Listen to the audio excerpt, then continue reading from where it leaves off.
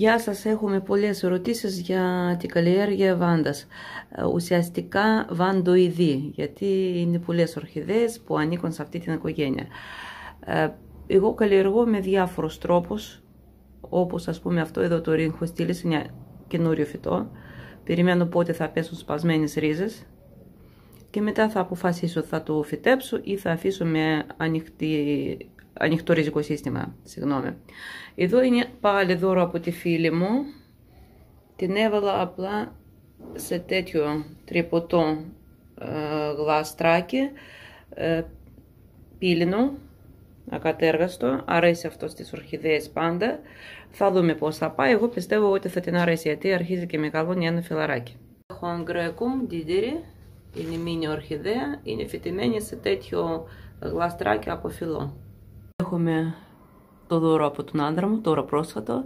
Ε, και αυτή είναι φυτεμένη σε τέτοιο γλαστράκι, χωρίς υπόστρωμα.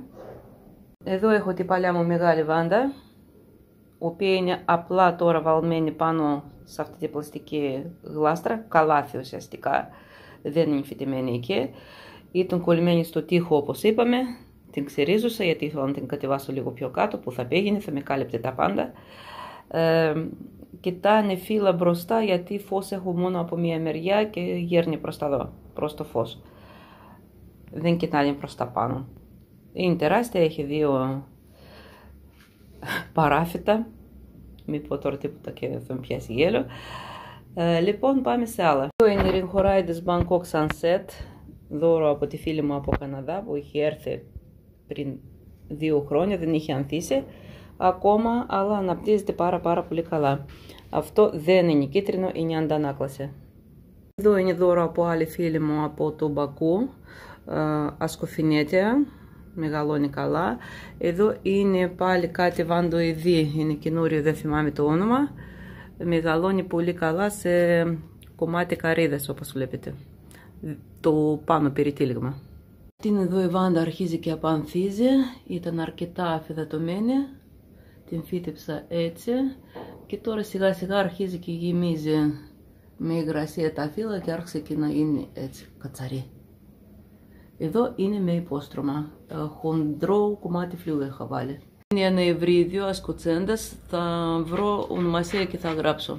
Σκάψει αυτό το σκυλί, πού θα πάμε; Εδώ έχουμε επίσης μία βάντα. Αυτή είναι εδώ σχετικά καινούρια είναι. Πάρα πολύ καλά πάει. Βλέπετε ότι μεγάλωσε πάρα πολύ το παιδάκι. Και την έχω φυτέψει έτσι πάλι.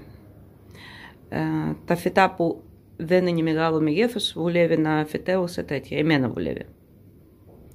Εκεί πάνω είναι η βρίδιο Ντινισονιάνας. Έχω πει αρκετές φορές, για αυτήν υπάρχουν βίντεο. Την μεγαλώνω πολλά χρόνια από πάρα πολύ μικρό σπορόφυτο. Δεύτερη χρονιά ανθίζει, Πέρυσι ήταν φανταστική αμφοφορία, πολύ πλούσια αυτήν, τη μεγαλώνω ε, σε απλά καλαθάκια, χωρίς τίποτα, χωρίς υπόστρωμα. Εδώ έχουμε τη βάντα σερούλια, τη μεγαλώνω και αυτήν σε τέτοιο γλαστράκι με χοντρό φλοιό. Ήταν μικρός σπορόφυτο, έκανε τρεις προσπάθειες να ανθίσει, αλλά δεν κατάφερε, δεν πειράζει, θα μεγαλώσουμε. Πάλι αντανάκλαση είναι, δεν είναι κίτρινη. Εκεί πάνω είναι μια μικρή βάντα, κόκκινη, ονομασία. Θα ψάξω το τεμπελάκι της. Μερίνα Αντέρα, επίσης σε γλάστρα. Και εδώ έχουμε ένα μικρό πηδάκι, ήταν δύο, το μεγάλο χάλασε, δεν κατάφερε, αμέσως δηλαδή χάλασε. Ε, και έσωσα μόνο το μικρό το κομματάκι που μεγάλωσε τώρα, έχει πορτοκαλί λουλουδάκια μικρά. Ε, δεν ξέρω συγκεκριμένη ονομασία, όταν ανθίσει θα ψάξουμε μαζί. Έχω δύο συντεμφαντένες με τράτα, μία είναι κλασική, μία ε, είναι κίτρινη. Εδώ έχουμε τη βάντα αυτή είναι εδώ. Και εκεί είναι βάντα βιετνάμικα, καθαρή βιετνάμικα. Ε, όπως βλέπετε είναι αναρτημένα, φυτεμένα σε κομμάτια ξύλου και φλεού. Είναι αράχνης, μεγάλο, μεγάλο, μεγάλο. Φυτεμένο σε ε, σφάγνο και πύλινο γλαστράκι βαλμένο μέσα σε καλάθι. Δεν έχει αμφίσει ποτέ, αν και είναι αρκετά μεγάλο φυτό. Όλες τις ονομασίες θα γράψω, δεν θυμάμαι. Έχω Αλτσχάιμερ. Για νεοφινίτες θα μιλήσουμε ξεχωριστά, έχω πολλές.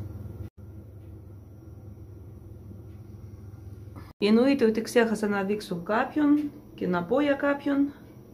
Είναι πολλά τα φυτά. Πλέον δεν μπορώ να συγκρατήσω στο μυαλό όλες τις ονομασίες.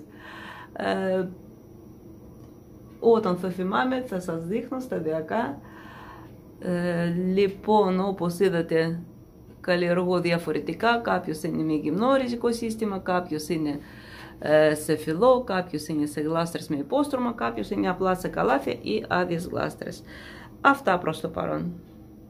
Ε, και πάντα κοιτάμε τις ανάγκες του φυτού. Τα φυτά που ήρθαν χωρίς ρίζες ή με λίγες ρίζες ε, που δεν είναι καλά στην υγεία τους θέλουν πάρα πολύ προσοχή. Άμα βάλουμε σε γλάστρα με υπόστρωμα πολύ εύκολα θα σαπίσουν και άλλα, άλλες ρίζες και άλλα τμήματα του φυτού.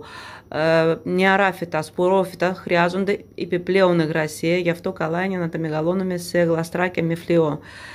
Βέβαια πάλι καλό αεριζόμενο πρέπει να είναι το γλαστράκι και το υπόστρωμα. Αυτό θέλω να σας πω, η βρύδια γενικά καλά είναι να είναι γυμνόριζα, τα μεγάλα τα ευρύδια. Αλλά πάλι κοιτάμε ανάγκες του φυτού. Άμα βλέπετε ότι έχετε συγκεκριμένο τρόπο καλλιέργειας και δεν πάει φυτό, το, φυτό καλά, αλλάξτε τρόπο καλλιέργειας, αλλάξτε φύτευση ή αφήστε γυμνόριζο ή αντίθετα βάλτε σε γλάστρα.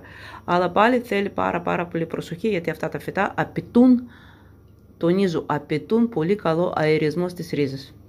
Είναι πολύ πιο εύκολα στη καλλιέργεια, μέχρι και βάζω αν δέχον μέχρι ένα διάστημα, αλλά πάλι θέλει, θέλει πάρα πολύ προσοχή και να κοιτάμε ανάγκη στο φυτό. Ευχαριστώ.